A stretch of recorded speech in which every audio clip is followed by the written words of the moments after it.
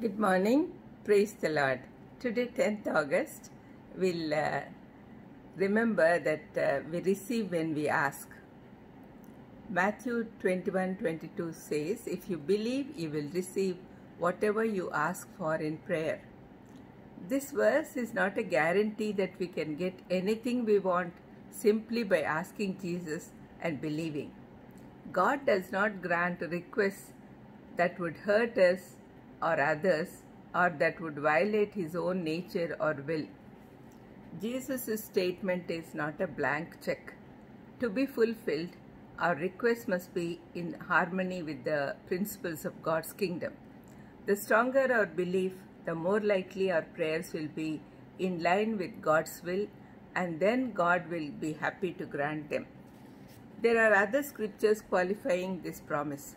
In the first place, not all asking is really praying, and therefore not all asking receives. James says, When you ask, you do not receive because you ask with wrong motives that you may spend what you get on your pleasures. James 4 3.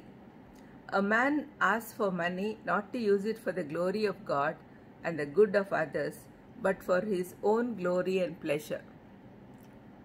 There are conditions for this prayer. One is that we must ask in Christ's name, that we discussed uh, previously.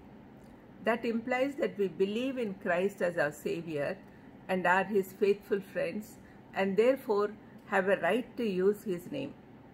Then there is another qualification which belongs to all promises to prayer.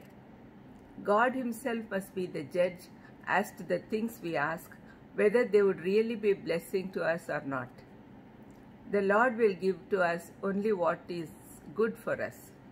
No good thing will be withheld from them that walk uprightly. But God will withhold even the most upright the things which in His divine wisdom He sees wouldn't be good for them.